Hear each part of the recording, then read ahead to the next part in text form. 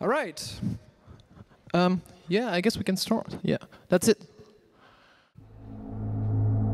Too bad this mic is not there. Oh my god. Oh my god. Oh oh oh oh my god. Okay. look. Look. Listen. Seriously. I do not understand this argument. I do not understand this argument. It makes no fucking sense to me. Shut up. Shut shut shut up. Okay. You know how I program a computer? I put my face close to the microprocessor and I whistle at it. And that causes there to be a differential in the voltages across the wires because that's the only thing that's real. The ones and zeros mask you from that. Fuck ones and zeros. C, assembler, oh my god, do you know all the pain that assembler is hiding you from? Do you know the implementation details that C is hiding you from? And so now you're gonna tell me that this is a step too far? That is such utter bullshit. You want to move a view uh, 100 pixels to the right. What you want to, to do is like uh, view.frame.origin.x plus view.center. U dot frame is not a reliable value. Equal 100 doesn't work either. And that's uh, that's the that's I, I think uh, in this case there's this is a classic example. You're gonna limit me to bytes? Fuck that. Every level of abstraction costs you something like that. It's not worth throwing I'm, the baby I'm, out I'm with not the bathwater. debating. Uh, I'm definitely not debating on whatever performance or Either ways, I found my tagline for Objective Cologne 2013. Fuck ones and zeros. I think it's an amazing tagline.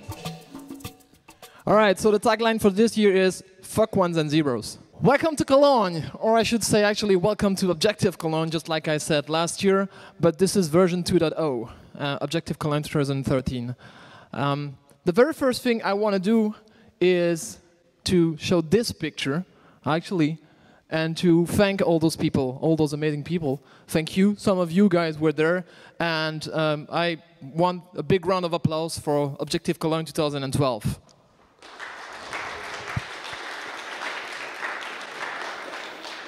So that's an amazing bunch of people. Uh, uh, uh, some of them are back this year. Some of, of, of them are not back. But back. But uh, yeah, I'm, I'm sorry for them actually, because this year is going to be even more of a blast. Um, the number one important thing is if you're going to tag something on Flickr, Twitter, whatever, uh, use Objective CGN. Um, um, and uh, if you want to go on the internet, uh, just use any Alter Versteigerungshalle. There is for the moment two, but it should be three. Uh, but we, we'll be back to internet in a few minutes. Uh, you got a few things, so wear it, stick it, Facebook like it, and spread the word. Um, I hope nobody broke his uh, uh, nice cappuccino cup yet in the bag by trying the bag like Scotty did a few minutes ago. And like, oh, oh, oh, there was something in the bag. Yeah, Scotty, there was something in the bag. So, very important detail for those of you who are here for the first time. Uh, a little bit of explanation where we are. This is Alte Versteigerungshalle. It's very high, and if you want to go uh, to the toilet, you have to go all the way to the to the top. And when you are on the top, you have to go all the way down. And then for those of you who um, are not very good at German, uh, luckily they can look the sign. But otherwise, a little bit of German. Damen means the queue looks like that. And Herren, just like last year, means the queue looks like that. That's, that's what makes an IT conference. um, and then, um, but there is a secret door and there is a secret toilet. It's over here. Um, and as you have seen, the, the food is going to be served over there uh, at noon. It's going to be pretty awesome, just like last year. Okay, back to the internet thingy. Faster internet? Uh, well, can any, any of you guess what this is? Or have you seen what this is? Those pictures. Well, the GPS location will tell you that this is there. This is the roof of the Alte Versteigerungshalle. Um, so I will show you a video to tell you, oh, I tried to have a faster internet, but I couldn't really make it. But I, I was told I have a more stable internet. So we will see if it's true. And anyway, who needs internet? Because the conference is going to be so awesome, all the speakers are going to be so awesome. That said, I tried. Believe it or not, folks, I was crazy enough to go on the uh, roof of the Alta Versteigerungshalle, try to get the internet faster for you guys. Um, so it's very interesting. It's uh, very high. Wait! No, ich komme runter. Just said I'm going down. Ich komme runter. Um, so it was here over there. I was there. I, I tried actually uh, to. Um, there is a technology which, which allows to um, uh, uh, send a signal uh, over a few kilometers and to get the internet. But I should have seen some uh, magic tower in Köln-Deutz from the Fachhochschule, and um, it wasn't making it. So, but I tried anyways, and it was funny to go on the roof of the Alte Versteigerungshalle and to almost die for you guys. All right, uh, one another note is that tonight at 7 p.m., not before, please, do whatever you want between 5 and 7. I don't know, uh, go visit Cologne or whatever, or, or go back to the hotel or whatever, but don't show up too early because otherwise I'm going to be killed by this very nice guy. Um, uh, so we're going to have the conference dinner. Uh, tomorrow, please come at 9 a.m. as well just like today, so you can communicate with your peers and so on and so forth. And tomorrow evening there is also another dinner, uh, which if, if any of you wants to join us, uh, if some of you are still here for the hack days, um, just please be so kind and go tell Judy. Judy is holding a list, so I know if uh, if I book at this very nice uh, Spanish place for uh, or pre-book for uh, 20, 30 people or, or 10 people, whatever. Uh, and most importantly, this year the event is a third day, uh, three-day event for those who could make it. Uh, on the Thursday, we're going to be there for Objective Code line. Yeah, I know. Yeah, I'm very amazing at word playing. Um, this is the address. It's in an amazing uh, location uh, where there's the big, the biggest tower in in, uh, in, in Cologne, which is basically it, it's it's like the twin towers in, in in New York, but just smaller, and there's only one, so it's not like the twin towers. Um, and this is an amazing place called Startplatz, uh, which were kind enough to host us for this day. So I'm looking for, for it. Be there at 9. Uh, present what you've coded on. I already have my idea. I know where uh, what I'm going to work on. And then um, you should get out at 6 p.m. That's basically the deal. Um, and that's, uh, that, that's, that's where it is. It's, it's a nice location and yeah, I hope we. Well, there's no sound. Uh, I think I removed the sound actually because I, I was planning to speak over there, and uh, yeah. So this is this is where it is. This is the big uh, twin towery thingy, whatever. So um, that's basically it. I just want to mention one last thing before we go to Scotty uh, is this year's conference wouldn't have been possible. Last year it was possible, but this year's conference wasn't possible without the amazing sponsor which we have this year. I'm going to speak about those guys for very, very briefly later on, but for the moment, I just want to thank Elgato, which brought some, uh, brought some euros, um, GitHub, who brought some dollars, um, Nexmo brought some pounds. It really is like that. And New Relic brought me a gold iPhone! No, no, no, but no, some money. So that I could buy, uh, buy a, a, gold iPhone. All right, this year's keynote speaker, which I already stole three minutes, but he told me it's, fu it's fully okay, is uh, my good friend Steve Scott, Scotty, the original conference MC. I, I, I call myself a conference MC sometime, but this is the real one. Uh, this is the one from which I stole a few ideas, and uh, um, the I, I, already explained last year that the origin of, of the Objective Cologne was back in 2009. Um, and by the way, in 2009, this uh, screenshot from over there on top is, is from the T-shirt of the NS Conference 2009, and it's not any T-shirt, it's Alex's T-shirt. Um, Alex, which was a speaker last year, which I want to thank for coming back this year as a regular attendee, uh, and which I met in 2009 at the uh, NS Conference. So um, that was an amazing conference. So it, it, turns out he made this conference already five times, and the five actually stands more for me than five times. It's that it's sold out in five days. I think the last one even sold in two days, no? Or something like that. So less than five days. Anyways, so when I was ordering for my uh, NS conference, I think 2010, I was like, what? Five days? That's pretty amazing. Okay, I could tell you a story about the whiskey lab but maybe we're not going to get into it. This is a, a, very special lab which happens in some uh, dark hotel rooms at NS conference. You have to go to NS conference to, uh, to uh, say what it is. And the last thing I want to say is that Scotty is so nice that when we originally planned this, he was telling me, well, I would stay another night, but I don't know about your budget. And then I told him, oh, fuck about the budget. I, I want you one night more with us and, and, and try to see if we can organize a whiskey lab on, on Wednesday evening. All right, ladies and gentlemen, without further ado, please welcome Scotty.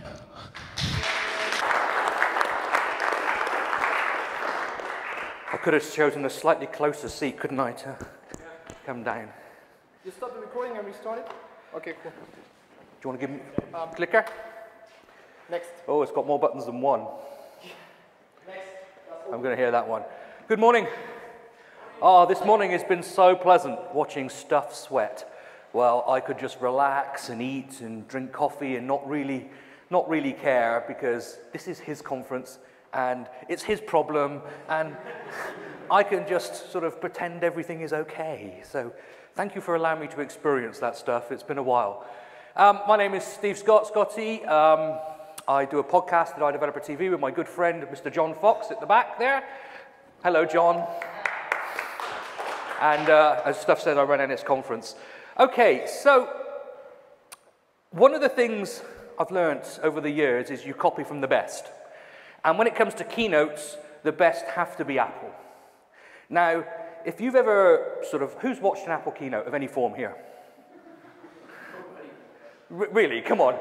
Either people are just too lazy to put their hand up or I'm in the wrong conference. Who has watched an Apple keynote of any form here? Okay, that's better. That's a little bit more like, oh, it's just going to be hard work this morning, isn't it? I can see that. Now, you know, when there was the iPhone 5S or 5C announcement, or, or back at DubDub, where there was the, the Mac Pro announcement, they don't just come on stage and suddenly say, and here's the iPhone 5S, and it's really gorgeous, or really powerful, or really cool, really expensive, whatever they want to say, now go home. There's a bit of a build up, you see? And if you've noticed, one of the things that they do in the build-up is they, they talk about their sales numbers. They talk about the new stores that they've opened. Basically, what they're saying to you is, we are really, really successful. Which means in a minute, when we tell you what it is we're releasing, we don't actually give a flying stuff what you think about it, because we're really, really successful. And we're going to prove to you we're really, really successful by putting some whacking great numbers on the screen of how many billions profit we've made in the last 10 minutes, or how many million iPhones we're going to sell before Thursday morning, or whatever it might be. Because actually, when you say, but there's no near field device detection system in it, you say, they'll say, we're successful, we don't care. Now, unfortunately, I'm unable to tell you how many billion dollars I've made in the last 10 minutes um, as much as I'd like to. And I can't tell you how rich I am or anything like that to be successful. But I still want to establish my credibility with some big numbers. So, this is a big number. It has no bearing on anything, but it's a big number that establishes my credibility for the rest of this. All right, so here we go. So, what is this keynote about this morning? Well, I sort of get a little bit passionate about things, and I'm, I'm down to do more ranting than maybe sort of a philosophical debate or whatever. So this morning is going to be maybe a little bit of a rant about community. But I don't really care if you agree with me. Um, because I'm successful, as the big number just said. Okay. Um, I, don't, uh, I don't really mind if everything I'm saying connects with you or not. The idea this morning is just to make you think a little bit more around community and app space. So let's start a look at uh, community. You guys obviously get something about community already because you're here. Yeah, let's be perfectly honest. The information that is going to be presented here from the front this morning, or this afternoon, or tomorrow, or whatever many days we go on for, you could probably find elsewhere. You could probably find elsewhere in a format that uh, is probably easier to digest in a way that you want to digest it. You can read it several times, watch it several times. You can even just get the videos from this. So you are not just here because of the technology. You are not just here to learn today and the next few days because actually you could do that elsewhere. So you in this room already understand that there is more about being at a conference than just learning. There is something powerful in connecting with peers. There is something uh, to be gained. Okay, you have not spent your money to be here just for the information. Or you've been sent by your boss and you've got no choice. One or the other. Um, if you've been sent by your boss and you have no choice and you're just here for the information, let me show you, you are not going to get the best from this conference today. You're really not, because that's not what it's about. What it's about is connecting with other people in this room, learning from other people's mistakes, learning from our war stories, even making friends. Yeah, there are people who I first met at NS Conference in 2009. I've never worked with them, I've never exchanged a technical email with them necessarily, but they've become good friends. And so actually, conference is about community and generating, and there is a power in it. So, when it comes to being app developers, why should you care about community? Okay, let's, as individuals, we can understand why we want to join together here. But when it comes to you as an app developer, you writing your own applications, be it for the Mac or be it for the iPhone or be it for any other device that you have to have inflicted upon you, the reason you should care is community equals connection. Community equals connection. And if you can create connection between people around your app, you gain a strength in your app that will buy you lots and lots of favor. Let's take an example. For many, many years, the WWDC line got longer and longer and longer. And it started getting earlier and earlier and earlier until I think some people were setting up on, you know, Saturday night or something ridiculous. I can honestly say I never joined the WW line before 10 a.m. in the morning. Um, I was always the one at the back, uh, being last into the overflow room. And everyone was saying, well, I just need to be in the same room as Steve Jobs. I just need to go and experience the distortion reality field and all the rest of it, or whatever other things we say. But then Steve Jobs had to stand down from being CEO because he was ill, and we knew he wasn't going to be at Dub Dub. And then, even worse, he died and he wasn't there anymore. But the line didn't go away. In fact, if anything, the line still gets bigger. Why? People don't like breaking connection. There was a community that formed in the WWDC keynote line. Most people who were standing in the keynote line, it's not about the keynote. It's about the experience of standing in the keynote line. It's about the camaraderie of being with friends. It's about who am I going to meet this year? Where am I am I going to be? Am I going to make it into the room? So even though the point of what was originally there as the line had gone away, the line stayed because a community had been created. If you can create community around your app or around your service or around and things that you do, you can screw up big time and people won't go away. Okay, whereas if you have no community and you screw up, that's it, people are gone. There's no reason to hold them. Your app is just screwed up. Release 2 has been a complete you know, abomination to mankind, and everybody leaves. If you have a community around your app or your service, whatever you do, although you have just screwed up yourself or you've made a mistake or you've done something wrong, people don't want to break connection. If they have become part of something bigger than themselves, if they have become part of something where they feel that they belong, if they have become part of something that is greater than just the purpose of your app, that will hold them as much as your app did. And companies that can create a a feeling of camaraderie around the users of their app get away with murder compared to those that don't. I'm not saying you should purposely go out and screw up your app just to prove the point. However, there we are. Okay, so how do you build an electronic community around your app? Well, to be perfectly honest, I have no idea. Okay, so you've just wasted all your euros coming to listen to this talk. You could have stayed in bed.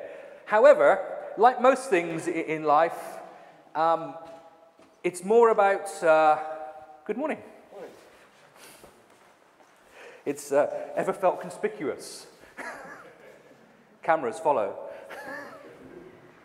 um, like most things in life, there is no formula. This isn't about if you do A, B, C, then it all happens. It really will depend on what's going on. So, what I want to look at this morning for the next however long I've got left, is it 30 minutes, something like that? Yeah, about 30 minutes is to, is to look at the principles of community. What makes community work? Maybe get you thinking then about how you might attach something around that, around your application, around your company, around the thing that you do, in order that you can gain some of the advantage of it. Depending on who you are and what your app is and what you're doing, will depend on how this can work or not work. So really this is just a bit of an ideas time. So, and hopefully it will be useful, and if not, don't worry, there's lots of other talks to come today, so you still haven't wasted your time. Right, okay, so let's start with the question, what is community? A good place to start is the dictionary. A social, religious, occupational, or other group sharing common characteristics or interests and perceived or perceived itself as distinct in some respect of a larger society of which it exists, usually preceded by the, the business community, the community of scholars, the app community, the iOS community, the developer community, whatever you want to say. Um, too dry, too formal for me, so let's just break that down a little bit into maybe something a little less formal. A group of people who want to be associated with each other because they have something in common and express that association through communication and mutual help. Just going to let you read that one more time. This is the statement we're going to look at for the next 30 minutes. A group of people who want to be associated with each other because they have something in common and express that association through communication and mutual help. So the first key of community is people who want to be associated with each other. This is really, really important, okay?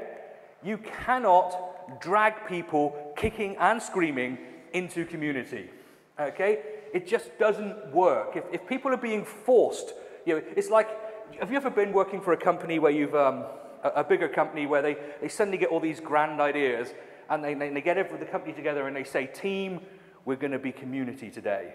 Or, you know, we're going to have a company loving or something like that. And, and you know, it's just crap, isn't it? It really is. It's like, I am being forced to be part of something I don't want to be part of. I'm not going to really give myself to this. I'll do the team building exercise because actually I don't mind building a log cabin out of four washing up bottles or whatever it might be. But it's, you know, the point is it doesn't work unless people actually want to be there. You know, if you're going to spend your time trying to force people into a, a gathering that they don't want to be at, it's as we would say in the UK, it'll be like herding cats. And if you've ever tried herding cats, it's impossible. It really is impossible. So if you want to build community, you have to give people a reason that they want to be together. Someone who's building community has to find a way of enticing people in a way that gives them something of interest, something of benefit, that they all want to go in the same direction.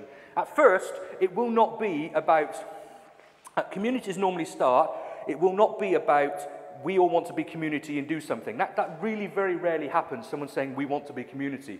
What normally happens is lots of people end up going for the same thing, the same reasons, and then discover, well, actually, we quite enjoy doing this together, or there's benefits in this together, and let's sort this out. So again, let's go back to the keynote line at WWDC.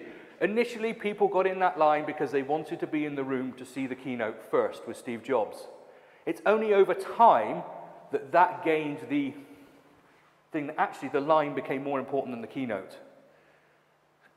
I'm serious, the line became more important than the keynote if you really want to look at community aspects of it. So if you want to create a community, you have to create a, something that people want to be and do together, or some way of bringing people together that they think they are going to benefit from, that over time, the things that they're doing together will become more important. So, it's really, really hard to get people to, to sort of go in a single direction unless they have something in common. I mean, if you're trying to relate people who are totally nothing in relation at all, um, like this was trying to do, I have absolutely no idea what these people were thinking when they did this. Who's been to a rabies clinic before? Oh. Who's been to a bake sale before? John, have you ever been to both at the same time? Yes. Yeah. this was John's poster. I've just discovered who made it. If you are trying to bring people who want to go to a bake sale and people who need to take stuff, uh, an animal to a rabies clinic together at the same time, you're going to be fighting sort of an uphill battle. Okay? So the point is you have to find something in common. What is it that people have in common? Now, in this room, we're going to look at our community a little bit later, later as an example. In this room, we have something obvious in common. We're all developers, or we're associated with the developer uh, developing in some way or another. That's the thing that holds us in common. Okay? Most of us in this room will have very different lives. we have different sort of family styles. We come from different countries. We have different hobbies. Yet we have that one thing that holds us in common that we are developers, and actually it's slightly more narrow than that. We're developers in the iOS or the Mac community. So you need to get have something that holds people in common. And the big thing about community is everybody has to win.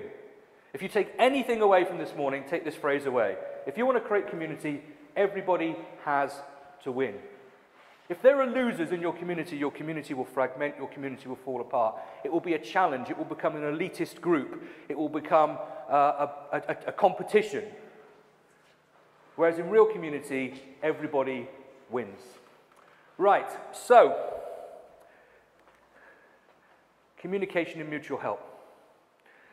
We're going to look a bit more at this in a moment, but actually most community is based around people communicating and mutual help. The reason you are here actually is not just for the sessions, it's so that you can talk to your peers. And through talking to your peers, you will be a better developer, you believe you can learn more than just watching these presentations, um, and you're hoping that you can be helped, and equally, you're hoping that in your conversations you will help others. That is almost the prime driving factor behind any community is this idea of mutual help. That uh, every, and that's where everybody wins comes from. Everybody needs to be helped somewhere, or everybody needs to have the opportunity to help. And we'll talk a bit more about that in a minute. Okay, so you want to create a community around your Apple service. You may not, but I'm telling you, you want to create a community around your Apple service. Okay, so how are you going to do that? Well, that's really going to depend on your app. This is an app called Atomic Fart. Um, is the developer of Atomic Fart in the room? Good. Okay, right. I really have no idea what this app does, by the way. Um, yeah, I, am going to be generous to it. I'm assuming it measures radioactive levels of methane extraction or something. Um, if you have an app like Atomic Fart, basically a throwaway app with no central cause or meaning, you are not probably going to realistically be able to create a community around it. I have no idea how you could create the Atomic Fart community. And if you did manage it, I'm not sure I would want to be part of it, to be honest. So um, we're going to leave that one to you. So the type of app or service that you will, will maybe presented, if you're, if you're having to do throwaway apps, um, and what I mean by throwaway apps is, is just something that someone might buy for a bit of fun or to use. If the app has a little bit more of a, um, uh, a purpose or more of something that holds people together, so a good example might be a game. A game is a great app to build a community around because games, you have to solve problems, you have to do things, you have to have an objective. It's bigger than just a one throwaway. You can begin to have common goals and you can begin to help people talk about it. This is an app called EasyBooks. Um, this is an accounting app, okay? Um, I mean, I'm, I'm not going to go with games because I think games are so obvious and lots of... Who's a game developer in the room? Nobody, so that's all right, so it doesn't count anyway. Games are so obvious. Let's look at something a little, little different. Um, who enjoys doing their accounts, be they personal or business accounts? One person, this one person in the middle. Okay, see? So, um, okay, so there is, what we have here is this application is helping solve people's pain. It's a good application. We sell to solve pain problems. Okay? People buy these types of applications because they have something to do that they need help with, they want it to be automated, they want it to be faster. Accounting is a complex business. We all make mistakes of whether, whether we're getting this right or that right. There's lots of questions. The app is a facilitator of a process, but it can't actually make all the decisions for you. Therefore, you could still do with some help, maybe using this app or making decisions about expenses. This is an ideal app around which you could create a mutually supporting community to help each other to learn how to use this app to best keep their business or their, financial, uh, their personal accounts up together. So there is a reason here you might create a community together. And that community isn't, no one's going to naturally say, if I said to you, why don't you come to the EasyBooks Accounting App Community Meetup? Most of you are going to say, I think I'd rather pull my toenails out. Um, it is the reality. So, but if over time you can begin to realize that there's a group of people in this community that are helping you and doing things with you and for you, that it's, um, uh, that it's going to maybe start to build itself. So the thing is, the first key of community is you have to gather people. You have to somehow get people in the same place. Now we're talking about electronic communities, so we're talking digitally in the same place. So, how about you make your support forums public? You expose every single problem that someone reports on your app and you allow your users to help one another. warts and all. It's just an idea. I know companies that have done this, they just say, okay, all our questions are going to be, unless you want to post some private numbers or say in an accounting app, All the questions we're going to have in our support forum are going to be public. Anybody can be free to answer them.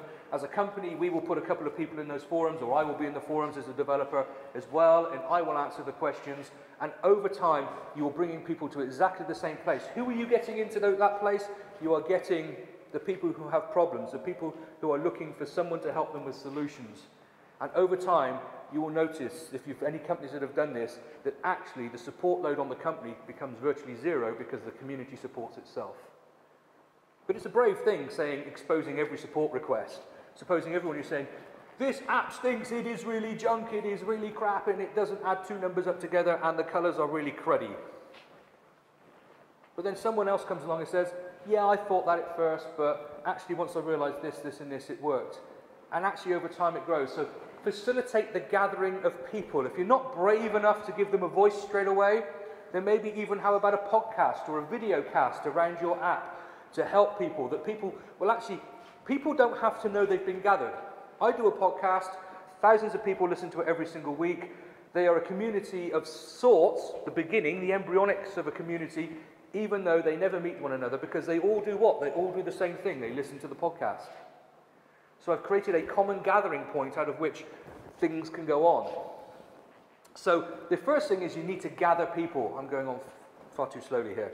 Gather people, and then, when you're ready, if not straight away, facilitate communication. It's always going to be communication that will build your community. Your job, if you want, remember, you cannot build community, you can only help it to develop. Your job is to make sure people can talk to one another, make sure people can communicate with one another, because that is what will do it. What do people enjoy most about the WWDC keynote line? It is not standing in line and doing this for four hours. I mean, there may be one or two people who are really sad, for whom that is the highlight of the, of the conference. It's the conversations. It's the conversations in the line. It's meeting the new people in the line. Communication is always what builds community. The reason people come to conferences is to talk to people. Communication. If you can facilitate communication, you will naturally begin to build community. And then remember, make sure everyone wins. So when the people begin to talk to each other, let's go back to say you've done a software support forum when people begin to talk to one another, it's your job to sort of set the tone for the community.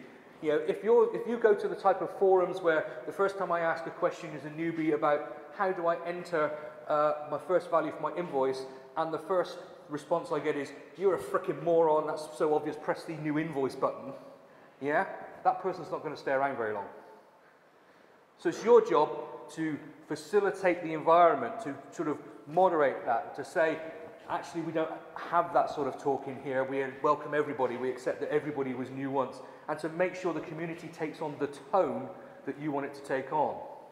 You know, as the runner of a conference, you have to decide, am I going to allow this? Am I going to allow that? Am I going to allow this sort of talk, this sort of speaker, this sort of event to go on? Because that sets the tone for the community. You cannot control what goes on, but you can set the tone, you can set the standards. And the key is you need to be looking at everything to make sure everyone wins. I put that in there again because that's the important thing. Right, so let's have a look at the structure of community.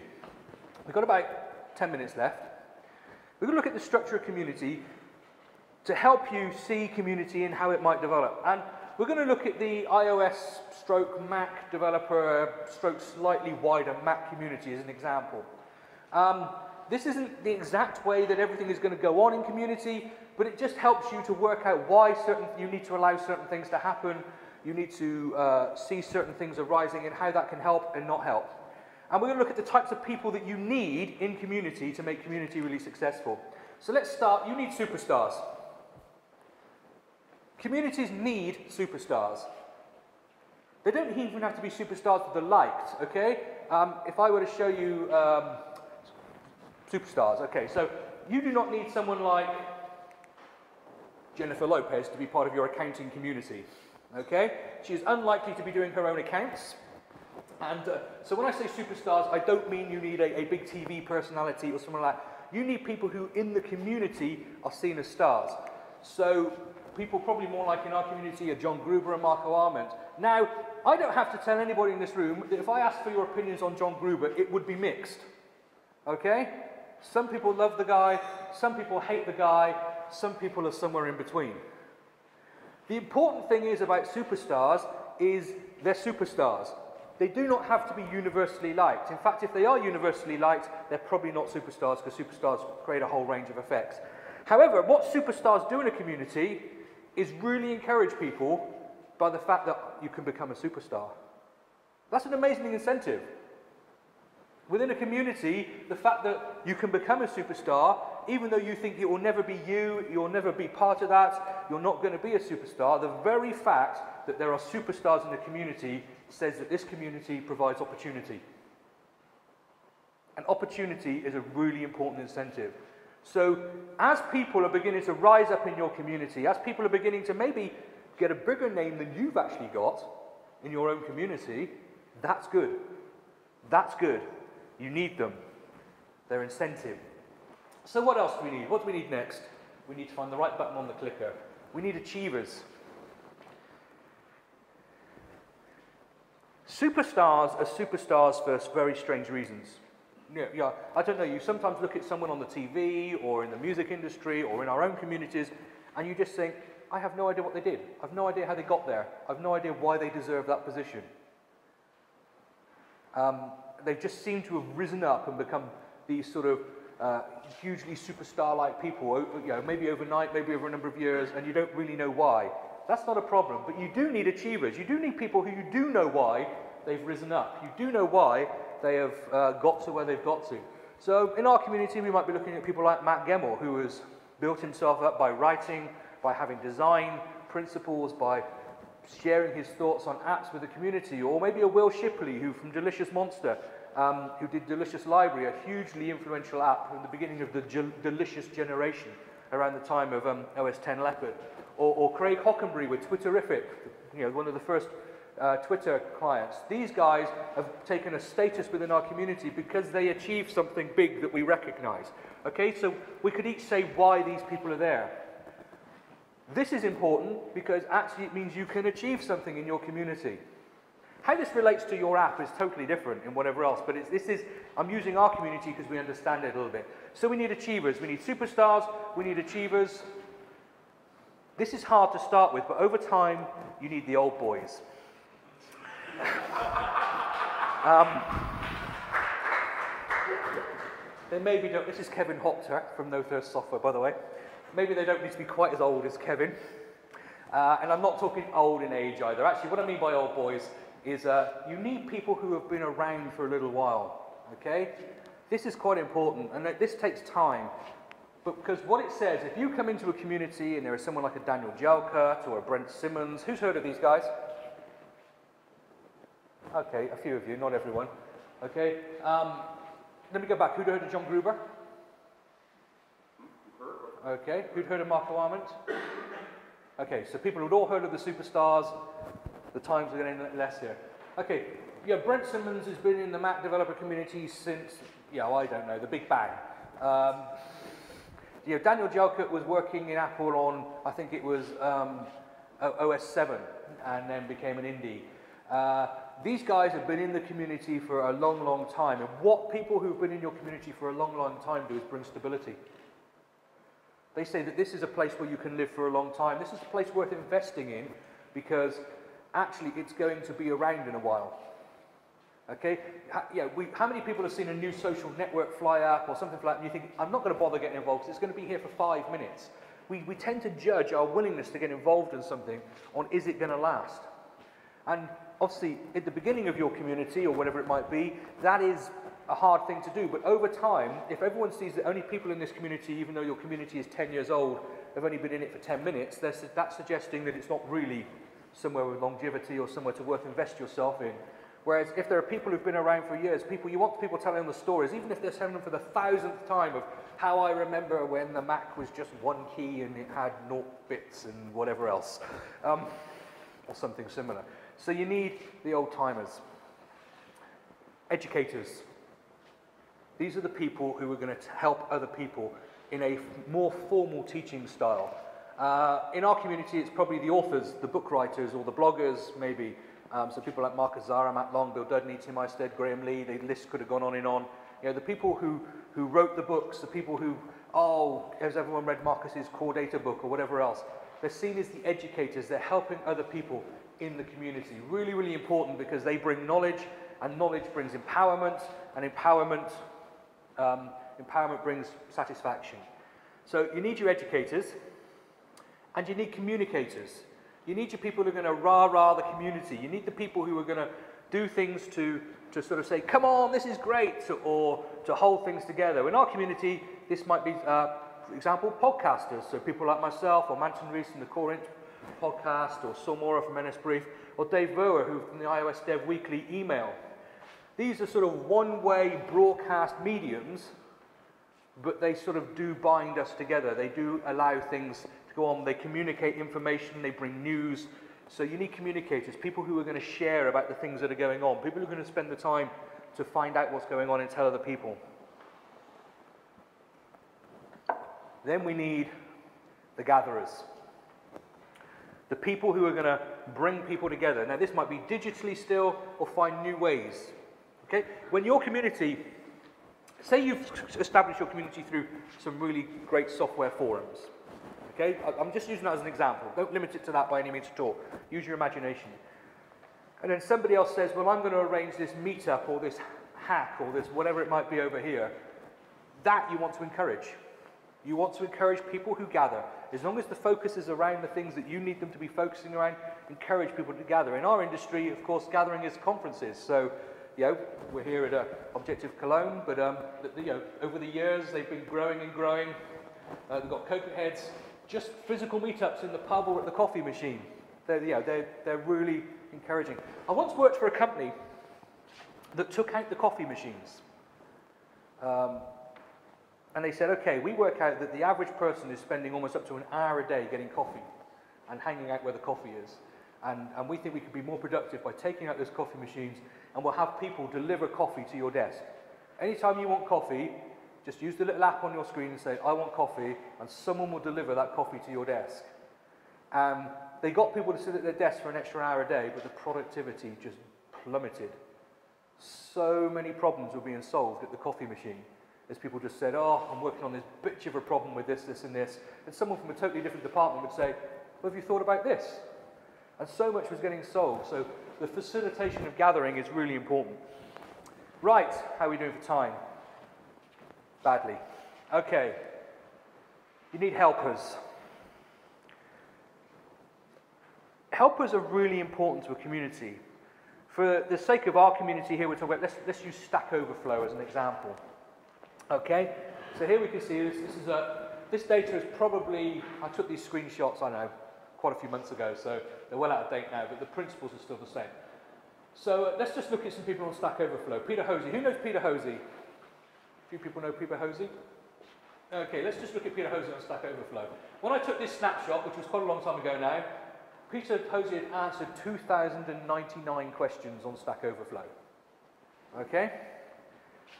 Even if each one of those questions took him one minute to answer, that's a reasonable investment of time. But actually, I suspect some didn't. Uh, some took a lot longer. So, yeah, he spent two, 2,099 answers. I think you could probably describe Peter Hosey as a community helper. Okay? The point is, lots and lots of people in the community will have no idea who he is unless you're one of the people he's helped. And even then, we're not always that good at recognizing him. In comparison, during that time that he's answered 2,099 questions, he's asked 24.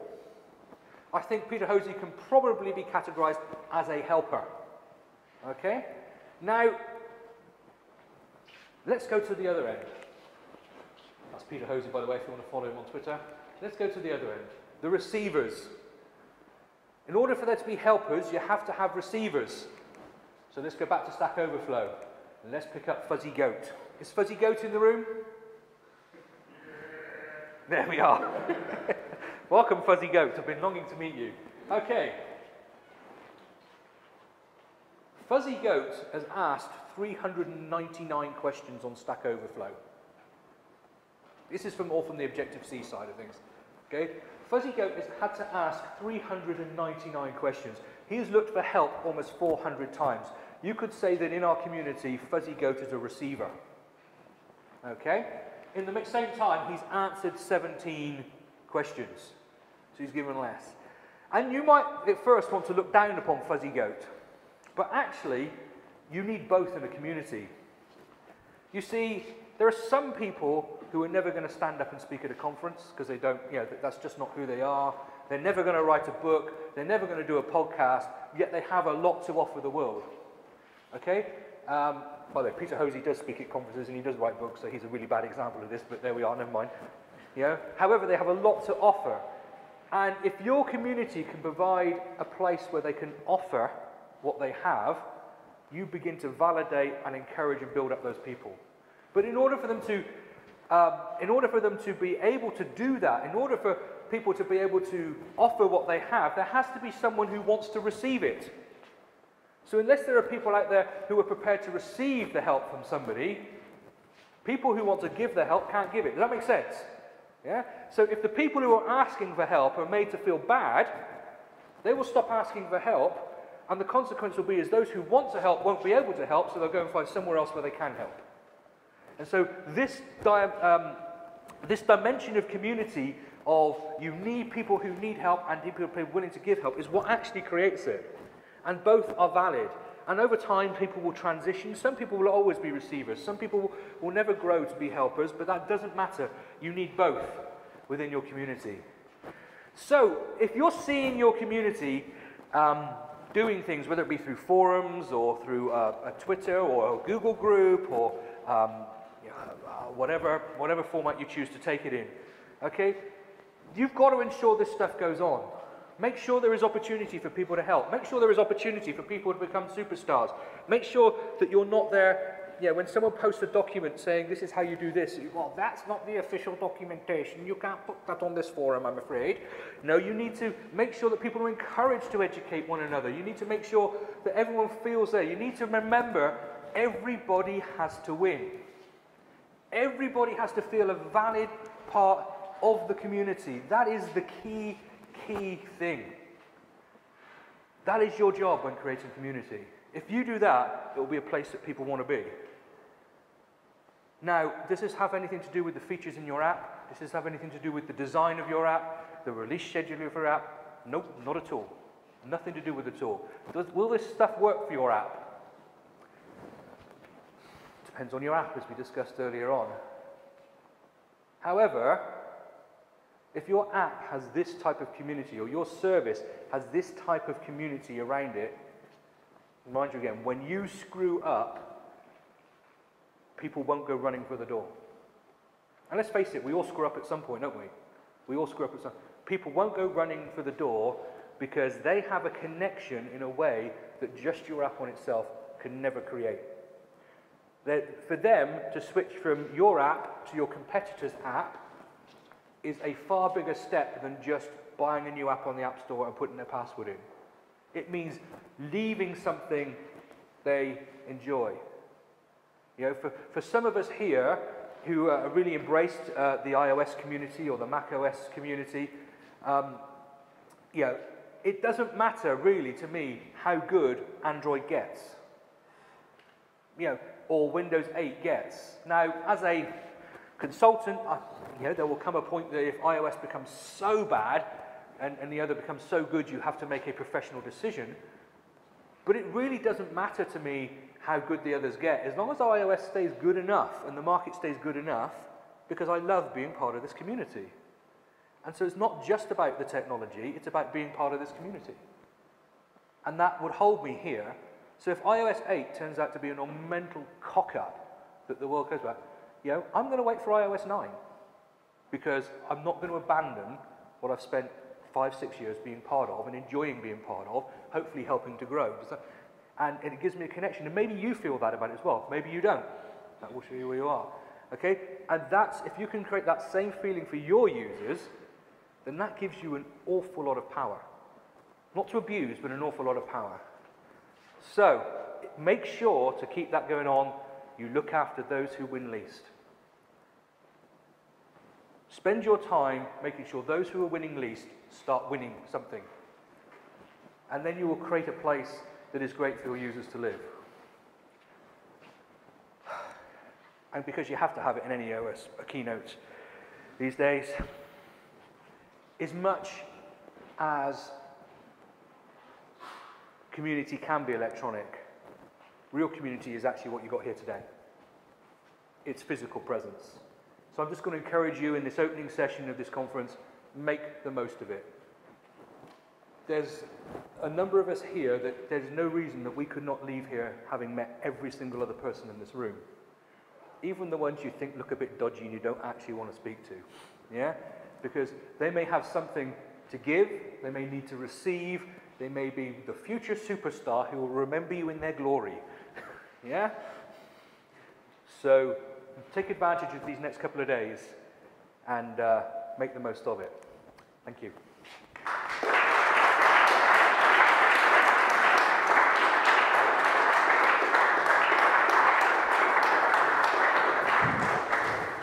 Okay, we actually have time for like one question if anybody wants oh, to ask questions. a question. You didn't tell me I had to answer questions. Um, for if anybody wants to ask one question, just um, raise your hand.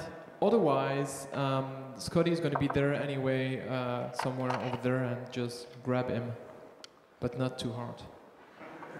No question? Oh, no, no, I don't want to answer his question. He's one of the dodgy ones. Now I'm gonna ask something snarky. No. Uh, do you have any uh, quick example of, of something that was very trying in, in a community that you were a part of and, and you were able to, to you know, an example of, of some uh, uh failure that you were able to overcome because of, of a bad community, I mean, because of a community? So you mean something that was going on in the community that I had to then facilitate that it wasn't... An example of some problem where community came to the rescue. Give us an example. Like the community came to the rescue? Yeah. Okay, now I will, um, I'll give you an example of where, what community does you can't really control, you can only influence. So let me give you an example of um, where a community facilitator had to influence. Who remembers the conference C4 that ran out of Chicago for quite a few years? Okay, a, a few people. Okay. Um, C4 was a very uh, uh, sort of technology research conference. Basically, it, uh, Jonathan Wolf Rentzsch, who ran it, great community guy, um, he, he wanted to create an event that just looked at lots of different technologies, things of the future, and whatever else. And it was mainly attended by Mac and iOS developers. And of course, because he was just trying to stretch this further and further and further, he would bring in people from further out of the realms of things to share their technology, to share things that they were doing. And this was back a few years ago, and Twitter was you know, just become really big. And actually, because it wasn't iOS, the community was starting to make some quite snarky comments about speakers while they were speaking um, on Twitter. And for those of us outside, it was sounding like, you know, these, these talks were dreadful and whatever else, but actually they were just different. They're outside of it. And uh, Wolf had to come into the conference the next day and just say, guys, as a community, this really isn't acceptable. This really, we are not portraying ourselves well. We are letting ourselves down. This is what the world is seeing us. These people are coming and sharing with us. He came in and shaped the community Okay, and since then, conferences have been different. I mean, I make a point down this conference every year of reminding people, you know, these speakers are here on their own time. They're here to help us. You can disagree with them, you can argue with them, but you must respect them. Okay, so that influenced me in how I run a conference. So that's an example of a someone who was facilitating the community, helping keep the community on track instead of breaking down. Although it caused a big fuss at the time, I think his statements, which were very public, shaped iOS and our sort of areas technology conferences from then on. And so that was an example of someone shaping community and rescuing the community. Is that the sort of thing you meant? Thank you. Thank you for mentioning you, C4. If you haven't heard about this conference, just go check your history. This is part of a history, and I've tried to get Wolf this year to speak. I will try again next year. Thank you, Scotty. Big Thank round you. of applause for Scotty. Okay, we're taking a break for like 10 minutes and be back here in like 10 minutes for Catherine. I do not understand this argument. It makes no fucking sense to me. Shut up. Okay. look, look, listen, seriously. Fuck ones and zeros. Utter bullshit. Fuck ones and zeros. Utter bullshit. Okay. Look, look, okay. Look. Look, I do not under I do not under I do I do I do understand this argument. Understand this argument. Understand this utter bullshit. It makes no fucking sense to me. It makes no fucking ones and zeros. Ones and zeros. Ones and zeros. Ones and zeros. Ones and zeros.